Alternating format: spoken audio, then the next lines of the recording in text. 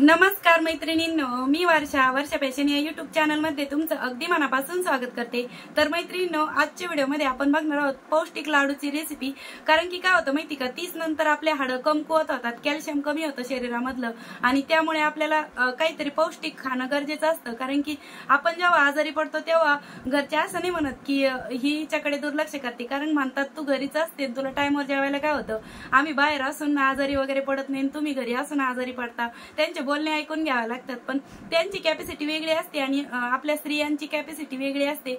आपण फार लवकर आजारी पडतो आणि या सगळ्या आजारातून वाचवण्यासाठी मी ते आता म्हणजे वेगळ्या पद्धतीचे लाडू बनवत आहे. ऍक्च्युली हे मी पण पहिल्यांदाच बनवत आहे कारण की मला पण आता आता मी स्वतःच्या तब्येतीकडे लक्ष देत नाही तर तुम्हाला मी मागेच हेल्थ अपडेट दिली होती. तर त्यामध्ये पण तुमचे खूप सारे अशा मला रिक्वेस्ट होते की ताई तू आठ दिवसातून व्हिडिओ केले तरी चालेल चार दिवसातून केले तरी चालेल आम्ही बघत जाऊ. पण मी कसं आहे मी जास्त झोपून पडून नाही राहत. कधीतरी आता एक दिवस आड व्हिडिओ घेतलाय त्यामुळे मला पण रेस्ट करता येते. आणि थोडस म्हणजे रिलॅक्स फील करते मी. कारण की रोजची जी धावपळ होत होती ती जरा कमी झाली एक दिवस आड व्हिडिओमुळे म्हणजे मला पण ज्या बघणारे आपल्या ताई आहेत मावशी आहेत तुम्हा सर्वांना पण मी आग्रहाची विनंती करेल की तुम्ही पण अशा पद्धतीचे पौष्टिक लाडू बनवून नक्की खा. त्याची रेसिपी मी पुढे अटॅच करणार आहे.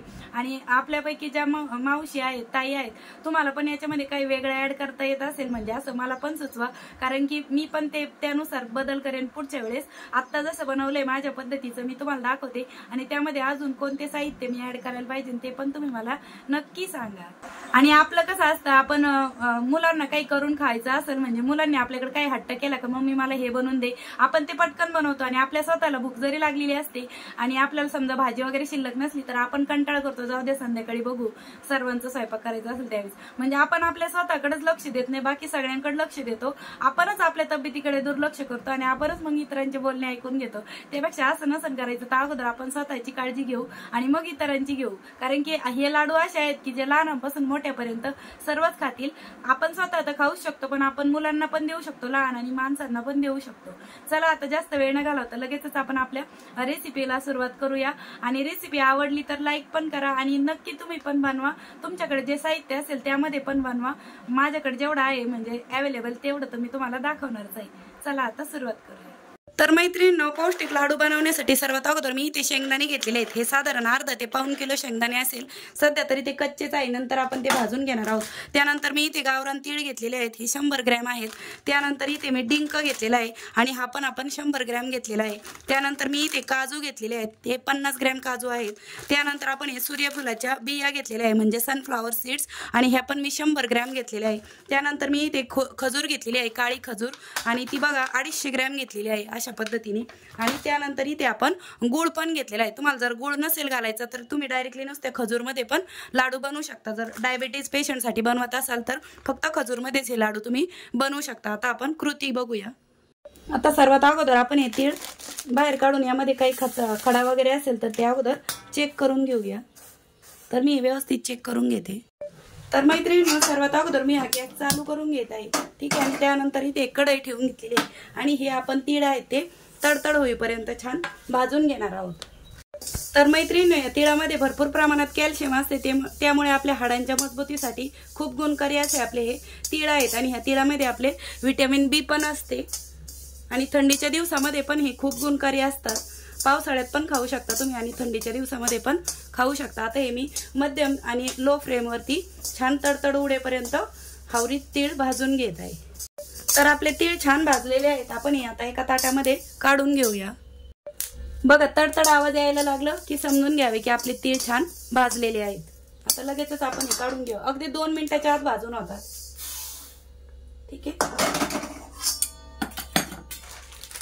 त्यानंतर इथे मी काजू पण भाजून घेत आहे. आणि हे पण आपल्याला मध्यम ते मध्य आचेवरती छान भाजून घ्यायचे. तुम्ही काजू भाजताना हवं तर तूप पण घालू शकता. मी मग अशी साहित्यामध्ये तूप घालायचं राहिलं होतं माझं. तुम्ही असे पण भाजू शकता किंवा तुपामध्ये पण भाजून घेऊ शकता. तर बघा काजू पण मी अगदी स्लो गॅसवरती छान मस्त असे गोल्डन रंगावरती भाजून घेतलेले आहे. आता ते पण आपण एका परातीमध्ये ताटामध्ये काढून घेऊया. त्यानंतर आपण इथे सूर्यफुलाच्या बिया घेतलेल्या आहेत. आणि ह्या पण आपण छान अशा मंद गॅसवरतीच भाजून घेऊया. तर सूर्यफुलाच्या बियांमध्ये हाडांच्या बळकटीसाठी खूप मजबूतीसाठी गुणकारी आहे. स्किनसाठी पण खूप गुणकारी आहे. म्हणजे केसांसाठी केस स्किन तुकतुकीत राहण्यासाठी पण या सूर्यफुलाच्या बियांचा खूप बहुगुणी आहेत गुणकारी आहेत. तर दोन ते तीन मिनटं आपण या सूर्यफुलाच्या बिया पण छान अशा स्लो गॅसवरती भाजून घेतलेल्या आहेत. आता त्या पण आपण ह्याच ताटामध्ये काढून घेत आहोत.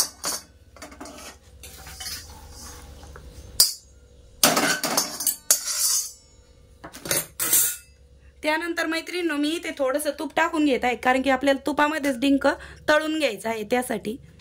तुमच्याकडे जर गावरान तूप असेल तर तुम्ही ते वापरू शकता पण माझ्याकडे अवेलेबल नव्हतं त्यामुळे मी साधंच तूप वापरत आहे. आणि डिंक पण आपण याच्यामध्ये छान तळून घेऊया. तर तूप कडकडीत तापल्याच्या नंतरच आपण यामध्ये डिंक सोडून घेणार आहोत. तर मैत्रिणी तुपाला छान ताव आल्याच्यानंतर आपण यामध्ये थोडे थोडा डिंक सोडून छान तळून घेऊया. आणि डिंक चांगला तळून घ्यायचा आहे मैत्रिणींनो. तर बाळंतणीसाठी पण हा डिंक खूप गुणकारी असतो आणि आपल्या महिन्याच्या महिन्याला मासिक पाळी नियंत्रणात येण्यासाठी पण मदत होते. कधी कधी आपली रेग्युलर येत नसल्यास तुम्हाला हे डिंक तळून खाल्ल्याने पण खूप गुणकारी असतो तो. तर हा तळलेला डिंक पण मी लगेचच काढून घेते. थोडासा गोल्डन रंगापर्यंत आपण हा तळून घ्यायचा आहे. आणि खूप पटकन तळल्या जातो तो. जास्त वेळ अजिबात लागत नाही. अशाच पद्धतीने मी राहिलेला सर्व डिंक पण तळून घेत आहे.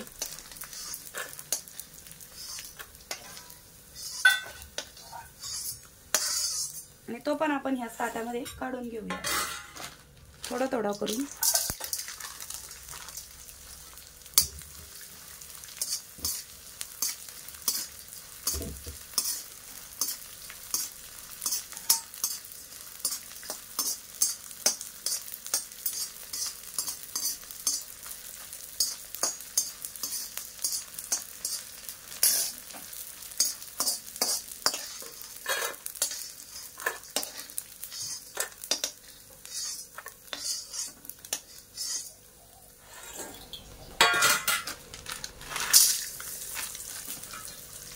अशा पद्धतीने मी हा तीन बॅचेसमध्ये हा डिंक छान असा तळून घेतलेला आहे.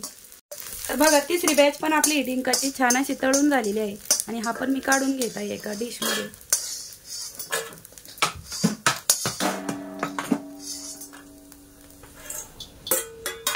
त्यानंतर मी ते खजूर घेतलेली आहे काळी खजूर. आणि ही खजूर पण रक्तवाढीसाठी खूप गुणकारी आहे. ती पण मी तुपामध्ये थोडीशी भाजून घेणार आहे.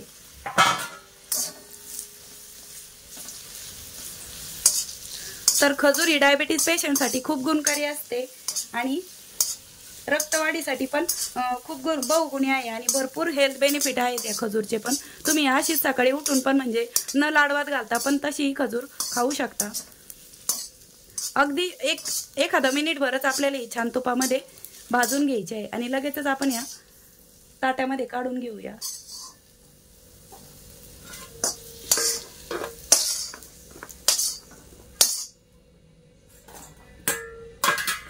त्यानंतर मैत्रिणी मी ते पुन्हा तूप टाकून घेत आहे. मला शेंगदाणे तुपामध्ये भाजून घ्यायचे. तुम्हाला जर तुपामध्ये नसेल भाजायचे तर तुम्ही डायरेक्टली नुसते कढईमध्ये पण भाजून घेऊ शकता. पण मला तळून घेतलेले शेंगदाणे फार आवडतात. असे नुसते भाजून घेण्यापेक्षा डायरेक्टली आपण जसे पोहेमध्ये वगैरे टाकतो तळून घेण्यासाठी शेंगदाणे तसे शेंगदाणे मला खूप आवडतात. त्यासाठी मी हे शेंगदाणे तळून घेत आहे. तुम्ही नुसते भाजून घेतले तरीही चालतील. तूप व्यवस्थित वितळलेला आहे. आता यामध्ये मी हे शेंगदाणे तळून घेणार आहे.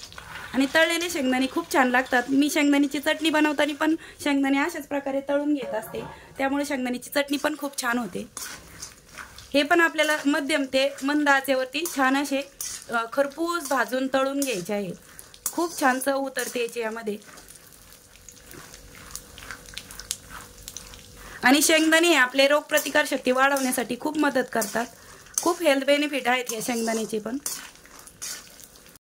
तर शेंगदाणे तळताना करपून द्यायचे नाही एवढी काळजी घ्यायची आहे मैत्रिणींनो. व्यवस्थित सतत हलवत हलवतच आपल्याला हे शेंगदाणे मस्त असे तळून घ्यायचे आहे. तुम्ही स्लो गॅसवरती पण तळून घेऊ शकता किंवा मग मध्यम मंद असे करत करत आपल्याला हे शेंगदाणे छान असे तळून घ्यायचे आहेत.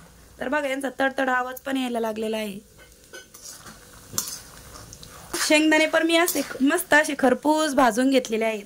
छान सॉरी तळून घेतलेले आहेत तुपामध्ये. जसे आपण पोयांना तळतो सेम त्याच पद्धतीने. तर आता हे मी एका डिशमध्ये काढून पण घेत आहे. आणि पुन्हा आपण ज्या परातीमध्ये अगोदरचं साहित्य काढून घेतलं त्यामध्ये हे शेंगदाणे पण काढून घेऊया.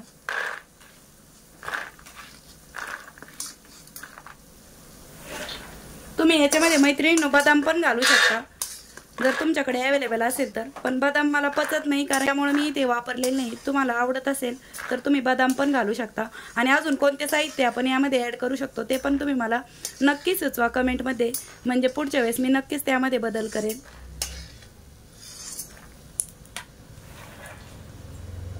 गॅसची फ्लेम मी बंद केलेली आहे.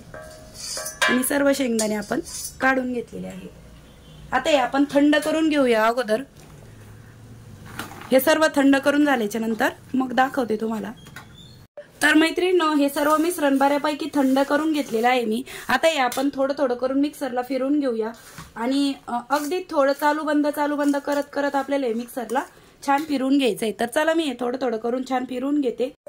तर बघा मैत्रिणी जास्त जाड पण नाही आणि जास्त बारीक पण नाही. अशा पद्धतीने अगदी रवाळ स्टेक्चरमध्ये आपण हे बारीक करून घेणार आहोत. आता माझ्याकडे मोठं भांडं नाही त्यामुळे तुम्ही जर तुमच्याकडे मोठं भांडं असेल तर तुम्ही एका वेळेस जास्त पण बारीक करून घेऊ शकता. आता हे राहिलेलं पण मी अशाच पद्धतीने थोडं थोडं करून बारीक करून घेते. ठीक आहे?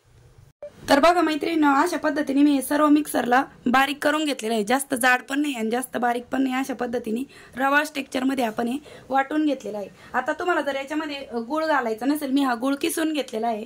अशा बारीक किसणीला. म्हणजे की तो आपल्याला डायरेक्टली मिक्सरला वाटायची गरज नाही पडली. त्यासाठी तर तुम्ही गुळाऐवजी खजूर वाढवू शकता.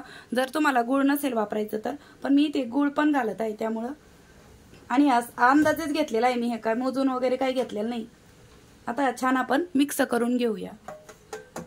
तुम्हाला जास्त गोड आवडत असेल तर तुम्ही गोडाचं प्रमाण पण अजूनही वाढवू शकता. छान एकत्र करून घेऊया.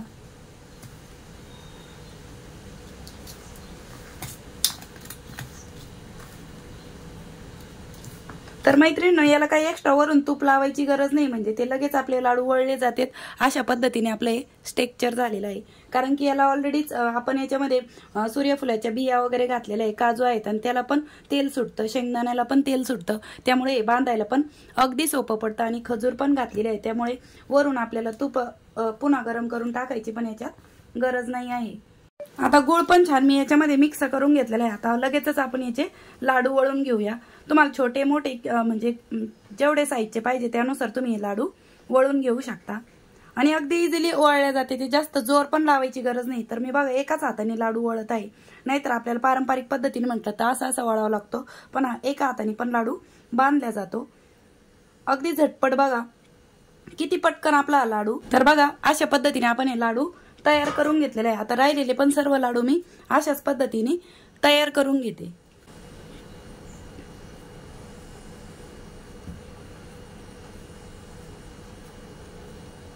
दुसरा पण आपला लाडू तयार झालेला आहे. आणि राहिलेले पण सर्व लाडू मी अशाच पद्धतीने तयार करून घेते आणि मग दाखवते. तर बघा मैत्रिणी अशा पद्धतीने मी सर्व लाडू बांधून घेतलेले आणि टोटल आपले बेचाळीस लाडू तयार झालेले आहेत या मिश्रणाचे. आणि बघा तुम्हाला मी एक लाडू फोडून पण दाखवते. अगदी इझिली तो फुटल्या जातोय. अगदी रवाळ आहे दाणेदार आहे. आणि बनवायला पण खूप सोपं आहे. आणि तुम्ही रोज लाडू सकाळी दुधासोबत खायचं एक लाडू फक्त. आणि रोज असं एक एक लाडू खाल्ल्याने काय आपली प्रतिकारशक्ती वाढणार नाही किंवा आपल्यातली रक्त वाढवणार नाही हे आपल्याला कायमस्वरूपी खात राहावे लागेल. तेव्हा कुठंतरी आपल्या तब्येतीमध्ये फरक पडणार आहे. तर मैत्रिणी तुम्ही हे पौष्टिक लाडू तर बनवाच पण त्याचबरोबर मी तुम्हाला अजून पण एक सुचवेन की बऱ्याचशा ताई माझे व्हिडिओ बघतात तर त्यांना पण सांगेन की रोज तुम्ही नित्य नियमाने व्यायाम पण करत चला. व्यायाम केल्याने आपलं शरीर मजबूत राहतं निरोगी राहतं किमान दहा ते पंधरा मिनटं रोज व्यायाम करतच चला.